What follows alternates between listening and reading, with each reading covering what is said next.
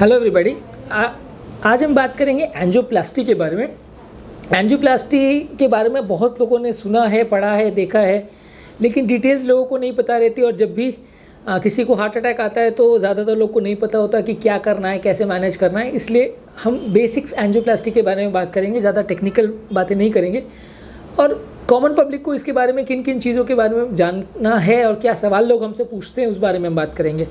Angioplasty एक procedure है जिसमें हार्ट की नली में या बॉडी की किसी भी नली में अगर कोई ब्लॉकेज होता है तो उसको हम एक मेटल का स्प्रिंग लगा के ओपन करते हैं, जिससे कोलेस्ट्रॉल का जो ब्लॉकेज है वो साइड पर हो जाता है और नली में फ्लो चालू हो जाता है।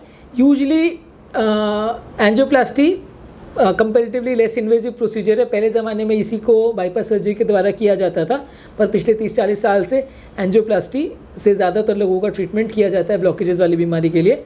सबसे पहले एंजियोप्लास्टी को 1964 में डॉटर नाम के एक साइंटिस्ट ने किया था, पाँव की नली में। हार्ट की नलियों में सबसे पहले 1977 में ग्रुनजिक नाम के एक स्विट्ज़रलैंड के साइंटिस्ट ने इसको पहले किया था। और लगभग 30-40 साल से ये टेक्नोलॉजी डेवलप्ड है। लास्ट 20-25 साल से जब से स्टेंट्स आना चालू हैं, तब से ये टेक्नोलॉजी बहुत एडवांस्ड हो गई है और रिजल्ट्स भी काफ़ी इंप्रूव हुए हैं। एंजियोप्लास्टी करने के लिए हमने एंजियोग्राफी वाले वीडियोज़ में जो डिस्कस किया था, हाथ की नली और पाँव की नली से इसको किया जाता है। हाथ की नली से रेडियल आर्टरी बोलते हैं और पाँव की नली जिसे फिमोरल आर्टरी बोलते हैं। ये दोनों में से कोई एक नली में से एक हम ट्यूब पास करते हैं जिसे शीत बोलते हैं। उसमें से एक कैथेटर हार्ट के पास ले जाते हैं उसकी हार्ट की नली में उसको एंगेज करते हैं उसको कैनुलेट करते हैं और उसमें से एक वायर पास करते हैं। ये वायर के ऊपर हम एक बलून को क्रॉस करते हैं। बलून बेसिकली एक रबर या पी जैसा मटेरियल होता है। एक आ, जो जब हम अंदर नली में ले जाते तो उसको हाई प्रेशर कॉन्ट्रास्ट से उसको फुलाते हैं तो वो नली में जगह क्रिएट करता है। उसके बाद एक स्टेंट यूज़ करते हैं। स्टेंट बेसिकली जैसा कि आप डायग्राम में देख रहे हैं, एक मेटल की जाली होती है जैसे पेन का रिफिल में पहले ज़माने में स्प्रिंग होती थी, वैसा एक मेटल की जाली होती है।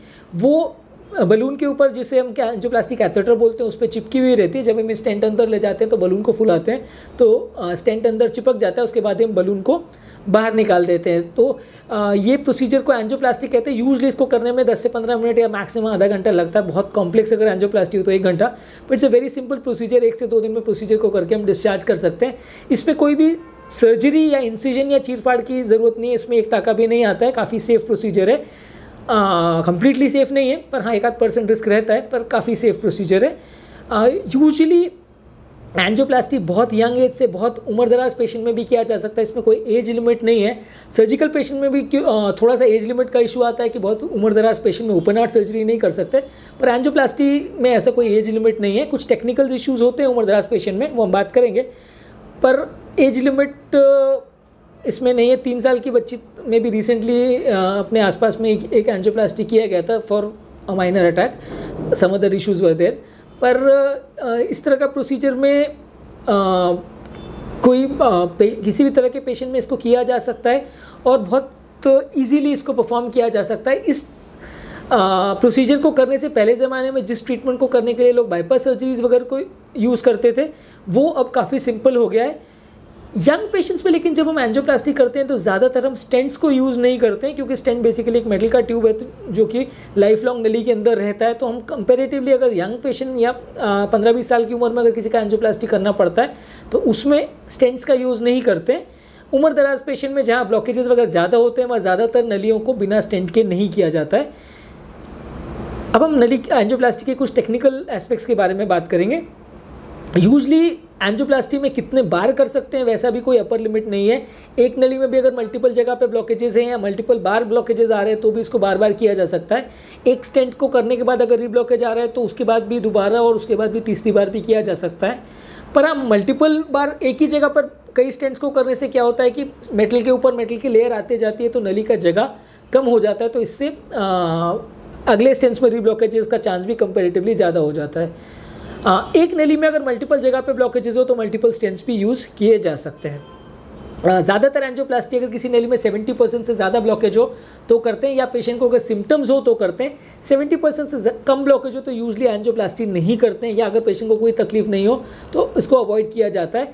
ऐसी कोई थ्योरी या ऐसी कोई स्टडी नहीं है जो शो करती है कि हर ब्लॉकेज जिस हो सेवेंटी परसेंट से ज़्यादा हो उसको ट्रीट करने से फ़ायदा होता ही होता है। ऐसा ज़रूरी नहीं है। जहाँ पेशेंट को तकलीफ़ ज़्यादा होती है तो वहाँ हमें ट्रीटमेंट करना चाहिए। एंजियोप्लास्टी करने के दौरान जो कोलेस्ट्रॉल नली में जमा है वो बाहर नहीं निकलता है। इसका सिस्टम ये है कि जब हम नली को फुलाते हैं जैसा कि आप डायग्राम में देख रहे हैं वो आ, जब हम नली में स्टैंड को फुलाते हैं तो जो कचरा है वो साइड पर आ जाता है नली खुल जाती है उससे लेकिन वो बाहर नहीं निकलता है। और काफ़ी लोगों में ऐसी भ्रांति भी है कि वो कचरा निकल के दूसरी कहीं नली में जा सकता है या शरीर के दूसरी जगह पर जा सकता है कोई और नली को चोक कर सकता है वैसा यूजली नहीं होता। सेम नली में वो आसपास की ब्रांचेस में थोड़ा शिफ्ट हो सकता है पर यूजली वो किसी और जगह पे पहुँच जाए इसका चांसेस बहुत आ, नहीं के बराबर है ऑलमोस्ट अब हम बात करेंगे प्रोसीजर रिलेटेड कुछ इश्यूज़ के बारे में. यूजली एंजियोप्लास्टी करने में पंद्रह बीस मिनट का टाइम लगता है आ, इसके बाद आ, अगर हाथ की नली से एंजियोग्राफी किया है तो एक एक दिन का बेड रेस्ट रहता है पाँव की नली से किया है तो एक से दो दिन का बेड रेस्ट रहता है. दो से तीन दिन के लिए पेशेंट को हम एडमिट करते हैं. कभी कभी अगर बहुत सिंपल एंजियोप्लास्टी है तो एक दिन में भी डिस्चार्ज किया जा सकता है पेशेंट को। एंजियोप्लास्टी के बाद भी थोड़ा लाइफ का रिस्क रहता है। एंजियोप्लास्टी अगर बहुत सिंपल भी हो तो भी वन परसेंट रिस्क तो रहता है। पर एंजियोप्लास्टी के बाद अगर हार्ट अटैक के बाद, खासकर अगर एंजियोग्राफी को किया जाए तो सिग्निफिकेंट रिस्क रहता है। क्योंकि एंजियोप्लास्टी में हम नली को रिपेयर करते हैं, लेकिन जो हार्ट अटैक की वजह से हार्ट का टिश्यू बिगड़ गया, जो स्नायु खराब हो गया, उसको रिपेयर नहीं कर सकते। तो इसलिए करने के बाद भी थोड़ा रिस्क तो रहता है। ज़्यादातर एंजियोप्लास्टी रिलेटेड या स्टेंट रिलेटेड जो भी प्रॉब्लम्स आते हैं पहले 24 घंटे में ही सबसे ज़्यादा रिस्क होता है। इसमें दवा का रिएक्शन होना स्टेंट में क्लॉटिंग होना पेशेंट को हार्ट की गति का अनियमित होना ये सब प्रॉब्लम ज़्यादातर हार्ट अटैक वाले पेशेंट में पहले 24 से 48 घंटे में ही होते हैं। इसलिए ये टाइम पीरियड हम पेशेंट को ऑब्जर्वेशन में रखते हैं। आ, एक बार 24 टू 48 आवर्स हो जाए तो फिर कंपेरेटिवली रिस्क कम हो जाता है इसलिए हम पेशेंट को डिस्चार्ज कर सकते हैं। हालाँकि रीब्लॉकेज का चांस फिर भी थोड़ा बहुत तो रहता है। हार्ट अटैक के बाद आ, अगर बड़ा हार्ट अटैक है तो पेशेंट को इवन एंजियोप्लास्टी करने के बाद भी आठ से दस परसेंट जैसा जान का रिस्क होता है जिसमें कि कभी कभी गति का अनियमित होना हार्ट बंद पड़ जाना हार्ट फट जाना हार्ट का आ, से कोई क्लॉट निकल के ब्रेन में जाना दवा के रिएक्शन से ब्लीडिंग होना ये सब साइड इफ़ेक्ट्स कभी कभी प्रोसीजर के बाद भी ये सब रिस्क रहते हैं। तो इसलिए प्रोसीजर करने के बाद भी हार्ट अटैक वाले पेशेंट में सात से आठ परसेंट जैसा रिस्क मिनिमम रहता है। ज़्यादातर ये रिस्क जिन लोगों को मैसिव हार्ट अटैक है उसमें ज़्यादा रहता है। जिन लोगों का पंपिंग ख़राब है जिनको मल्टीपल बीमारियाँ हैं किडनी वगैरह की तकलीफ़ है उम्र ज़्यादा है नलियों में कैल्शियम ज़्यादा है इस तरह के पेशेंट्स में रिस्क ज़्यादा रहता है। आ, जो सिंपल एंजियोप्लास्टीज होती है उसमें कंपेरेटिवली रिस्क काफ़ी कम होता है। एंजियोप्लास्टी होने के पेशेंट लगभग एक घंटे के बाद हम पेशेंट को नॉर्मल थोड़ा पानी या जूस वगैरह दे सकते हैं और एक से दो घंटे के बाद उनको थोड़ा मिश्रित या पिसा हुआ मैश टाइप फ़ूड उनको दे सकते हैं, दलिया खिचड़ी वगैरह इस टाइप का उनको खाना दे सकते हैं। नेक्स्ट डे से हम नॉर्मल डाइट चालू कर सकते हैं। हम यूजली एंजियोप्लास्टी के कुछ दिन तक पेशेंट को थोड़ा सादा खाना खाना रिकमेंड करते हैं, बहुत ज़्यादा ऑयली स्पाइसी खाना नहीं होना चाहिए। जूसेस वगैरह में भी कोई भी जूस पेशेंट को दे सकते हैं। इसमें कोई स्पेसिफिक ऐसा नहीं है कि ये जूस फ़ायदा करेगा, वो नुकसान करेगा, ऐसा कोई स्पेसिफिक रिकमेंडेशन नहीं है। अब हम स्टेंट रिलेटेड इश्यूज़ के बारे में बात करेंगे। बलून एंजियोप्लास्टी यूजली पहले ज़माने में करते थे जब स्टेंट्स की टेक्नोलॉजी अवेलेबल नहीं थी, पर इसमें प्रॉब्लम क्या होता था कि जब नली में बलून को आपने फुलाया और बलून बाहर निकाल दिया तो कोलेस्ट्रॉल वापस से नली के बीच में आ सकता है, नली को वापस से बंद कर सकता है। तो इसका फेलियर रेट बहुत ज़्यादा होता था ऑलमोस्ट पच्चीस से चालीस परसेंट के इसमें वापस से तकलीफ़ आ सकती थी। स्टेंटिंग की टेक्नोलॉजी में क्या होता है कि जब हम स्टेंट को नली में लगा देते हैं तो कोलेस्ट्रॉल वापस से बीच में नहीं आता तो रीब्लॉकेज होने का चांस कम होता है। पहले ज़माने में जब नॉन मेडिकेटेड या बेयर मेटल स्टेंट आते थे तो रीब्लॉकेज का चांस लगभग ट्वेंटी परसेंट जैसा होता था। पर आज के डेट में जब से केमिकल कोटेड स्टेंट आने लगे हैं, तब से रीब्लॉकेज का चांस काफ़ी कम हो गया क्योंकि स्टेंट के ऊपर एक ऐसे केमिकल की कोटिंग होती है, जो स्टेंट के अंदर ये हीलिंग का प्रोसेस या रूज बनने के प्रोसेस को काफ़ी कम कर देता है। तो मेडिकेटेड स्टेंट या ड्रग एल्यूटिंग स्टेंट जिनको बोलते हैं, इसमें रीब्लॉकेज का चांस पाँच परसेंट के आसपास होता है।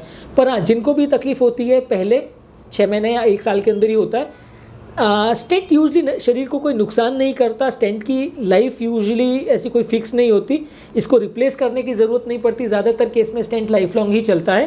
लॉन्ग टाइम तक यूज़ करने पर या बेंड वगैरह करने पर या कुछ काम करने पर कसरत वगैरह करने पर स्टेंट को कोई डैमेज नहीं होता। आ, इसको रिप्लेस ना किया जा सकता है और ना कहीं करने की ज़रूरत पड़ती है पर हाँ अगर स्टेंट्स में कोई रीब्लॉकेज आता है तो उसके ऊपर से एक वही स्टेंट के ऊपर से दोबारा ऐसे एक स्टेंट को यूज़ किया जा सकता है।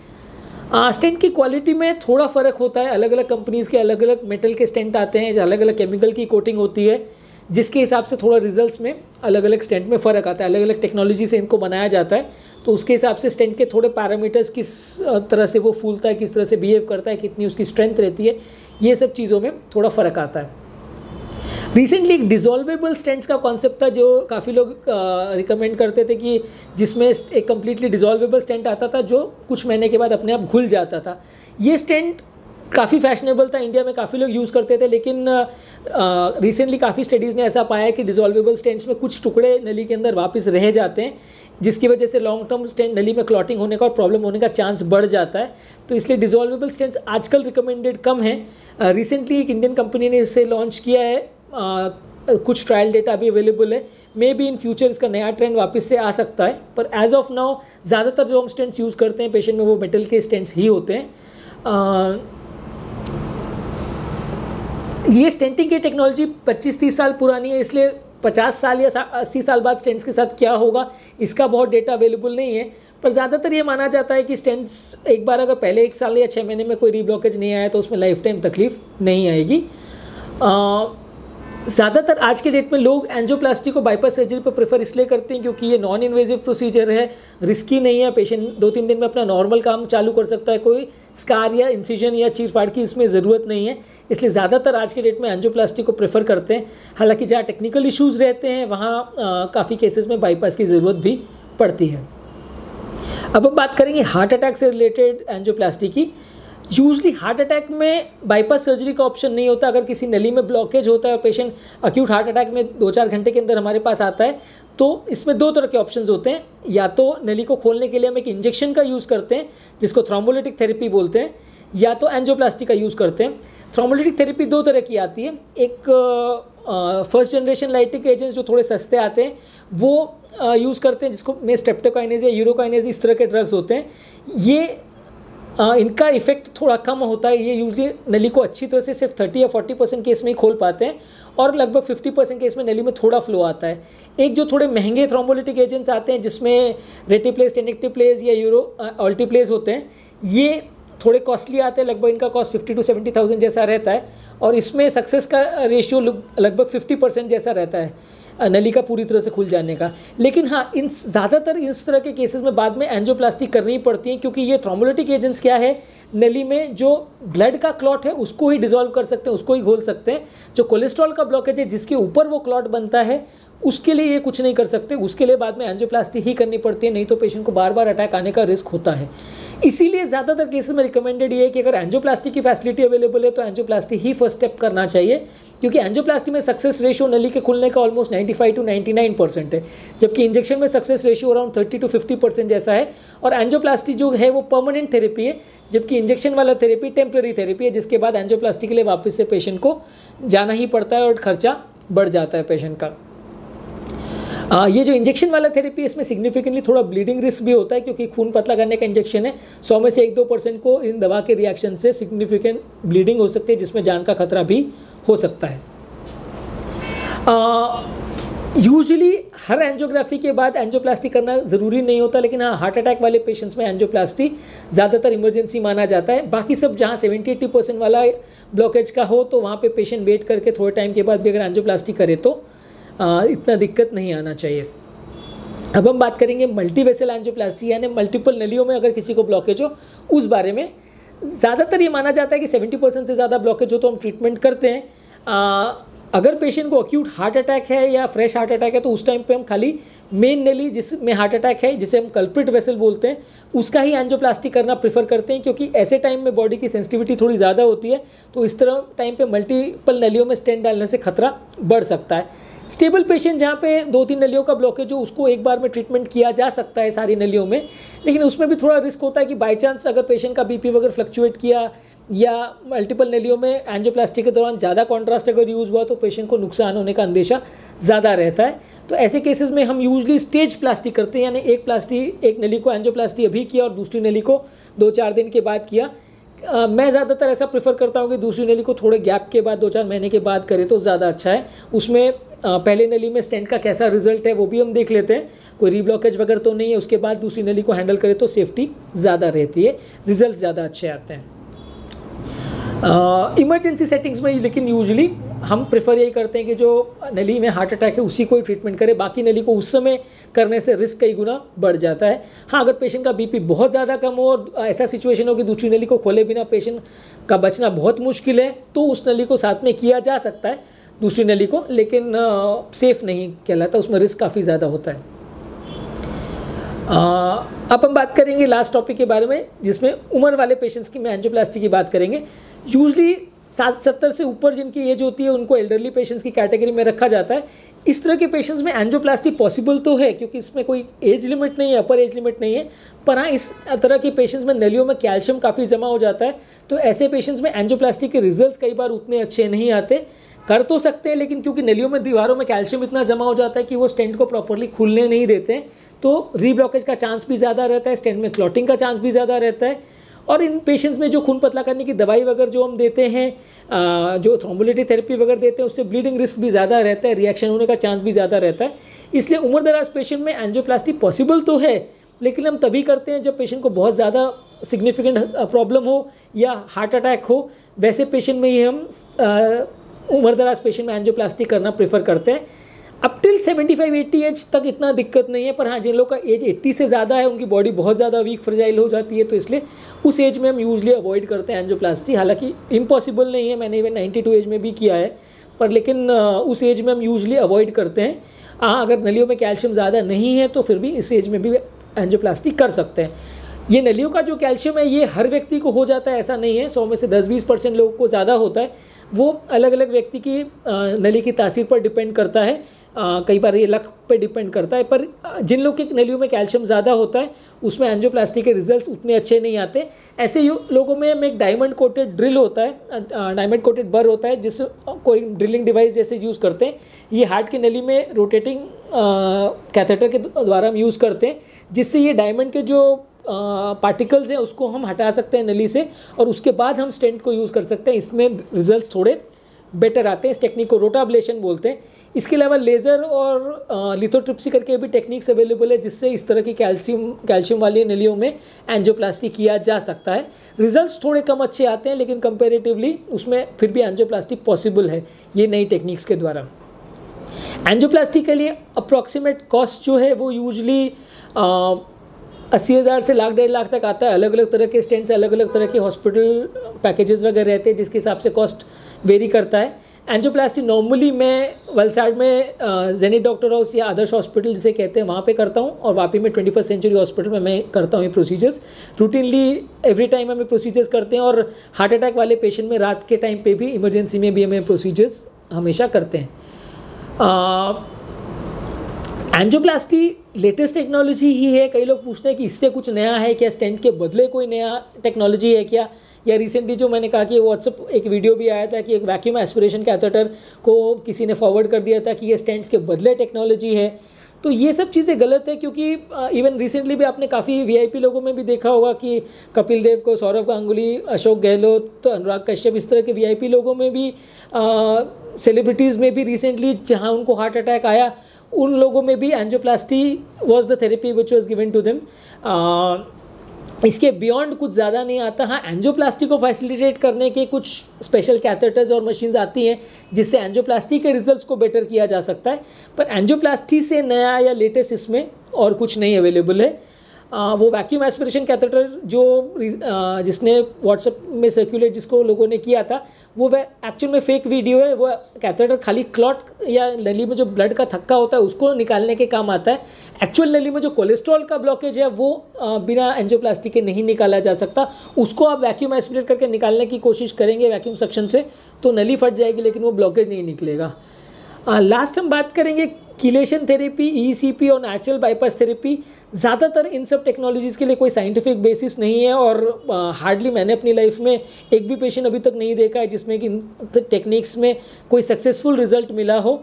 एंजियोप्लास्टी में कंपेरेटिवली ये 100 परसेंट गारंटेड सक्सेस वाली टेक्नोलॉजी है जिसमें ऑलमोस्ट रीब्लॉकेज अगर आता भी है तो भी less than five percent of the cases में आता है। Ninety five percent of the times इसमें पेशेंट को दोबारा कोई तकलीफ़ नहीं आती और इसके रिज़ल्ट हंड्रेड परसेंट तो गारंटेड रिज़ल्ट होते हैं। एज़ कंपेयर टू बाकी जो ऑल्टरनेटिव थेरेपीज़ है जिसमें सक्सेस रेशियो मैक्सिमम अगर आता भी है तो फाइव टेन परसेंट से ज़्यादा नहीं मिलेगा। Thank you